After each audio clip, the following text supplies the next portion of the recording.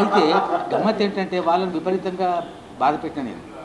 వాళ్ళు ఎక్కడున్నా ఇప్పుడు ఒక ఏడు వేల మంది ఉంటారు. నా నేను హెడ్ మాస్టర్గా పనిచేసిన స్కూళ్ళలో నాకు కలిసి తప్పకుండా ఈ సినిమా చూస్తారు.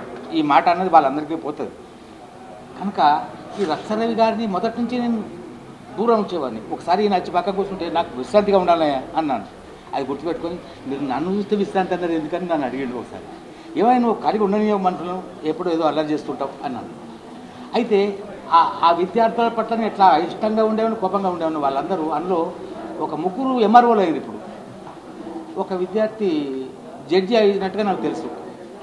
అతడు పిల్లవాడు స్వీట్ తీసుకొచ్చి నాకు ఇస్తే అబ్బాయి నువ్వు జడ్జి అయినావు కదా నీ జీవితంలో నేను చెప్పిన ఏ మాట అయినా నీకు ఉపయోగపడిందా? అన్నాను. ఆయన అన్నాడు సార్ నన్ను ఎప్పుడు ఆడుకోలేదు సార్ చదువు చదువు అని కొట్టేది మీరు అన్నాడు.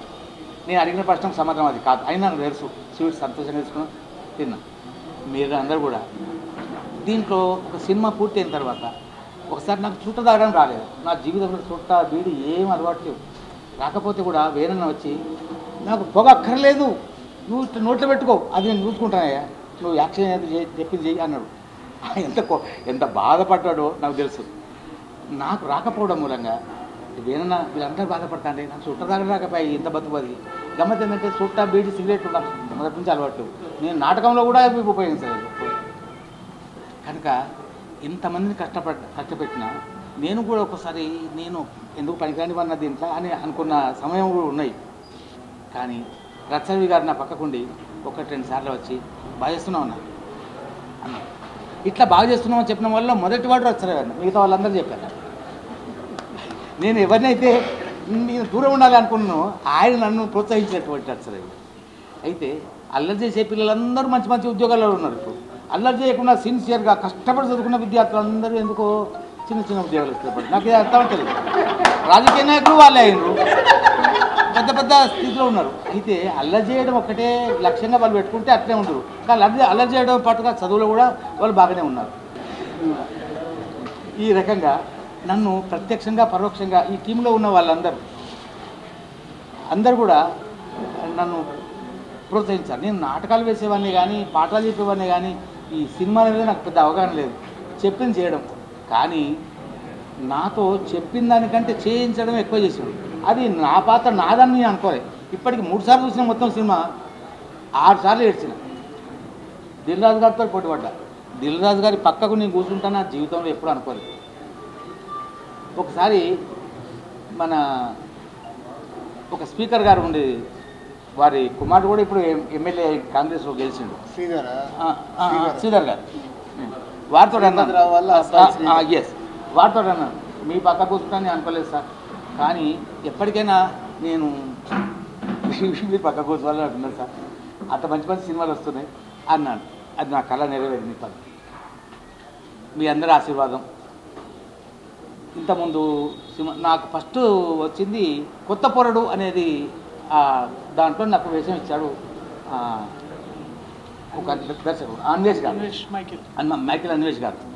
ఆయన ఆయన చెప్పింది ఏంటంటే అయ్యా నువ్వు బట్టలు అమ్ముతావు నువ్వు ఏం మాట్లాడతావు నువ్వు మాట్లాడు. నేనేం రాయా నీకు మాట నువ్వు మాట్లాడు అన్నాడు.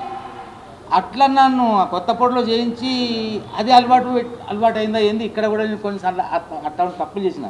నన్ను సరి చేసి నాకు కాస్త అక్షరాభ్యాసం చేయించడు వేణు ఇద్దరు వేణువులు నాకు. ఒకడు డిఓపి గారు ఒకటి వేరన్న. డిఓపి గారిలో నేను సరిగా చేయనప్పుడు ఎప్పుడైనా ముఖంలో వద్దు ఇట్లా అంటాడా? ఏమి సరిగా చేస్తారు ఎన్నిసార్లు చెప్పాలి చేయాలి అని అనుకుంటాడా అని ఊరికే ముఖం చూసేవాడిని. ఎప్పుడు ఆ ముఖంలో ఏమాత్రం తేడా లేదు. గోడకేసినటువంటి మంచి పెయింటింగ్ లాగా. ఆయన ముఖంలో ద్వేషభావం కానీ కోపం కానీ అస్సలు అనిపించలే. నేను బాగా ఇష్టపడేది ఎక్కడంటే ఓ రాజుగా ఎడవతనం రో అనే డైలాగ్ ఒకటి ఉంది. వేనంతో చేసిన డైలాగ్ అప్పుడు. అప్పుడు చాలా ఇబ్బంది పెట్టిన. నేను చేసేవాడిని నాకైతే యాస్ట్ వస్తాయి డిఓపి గారికి అయితే యాస్ట్ వచ్చిందో నాకు అర్థం కాలేదు. ఒక అమ్మాయి సెల్ ఫోన్ పెట్టుకుంటే ఓ పిల్ల ఓ పిల్ల ఊకే సెల్ ఫోనేనా? అన్న. అది కూడా రెండు మూడు టేపులు వేసుకున్నా. అయితే ఇక రోహిణి గారు చేస్తుంటే వే- రోహిణి గారు చేస్తుంటే చచ్చినట్టుగా నాలుగు సార్లు నవ్వి ఆ చెడగొట్టిన ఆ సీన్ చెడగొట్టిన. నాకు నవ్వు తెలుసుకోని పెట్టుకో అన్నారు అట్లా మా అమ్మ అనేది తెలుసుకోని దర్వాజ తెలుసుకొని పెట్టుకో. అంట అంటే మా అమ్మ గుర్తు వచ్చింది ఆ, అట్లా నవ్వి కొన్ని జడబెట్టిన అయ్యా నాలాంటి ముసలోని. మీకంటే మీరు నాకంటే ఎక్కువ కాలం భూమి మీద ఉంటారు తర్వాత. నా తర్వాత కూడా మీరు అందరూ ఉంటారు. ఇలా నాకంటే ముందు పోయే వాళ్ళు ఒక్కరు కూడా లేరు. కనుక దయచేసి ఆ తర్వాత తరాల్లో కూడా ఇటువంటి మంచి సినిమాలను చూసేటటువంటి అవకాశం కలిగించేటటువంటి ప్రయత్నంలో ముందు ఉండాలి ఈ సమాజం. విషయాలు పిట్టముట్టుడు దగ్గర నుంచి సావు దగ్గర నుంచి పుట్టుక దగ్గర వరకు అన్ని సాంస్కృతిక సాంప్రదాయాలు సగర్వంగా ఇతర దేశాలు కూడా ఆదరించగలిగే ఆశ్రయించగలిగే అవకాశం ఉన్నటువంటి అద్భుతమైనటువంటి విషయాలు.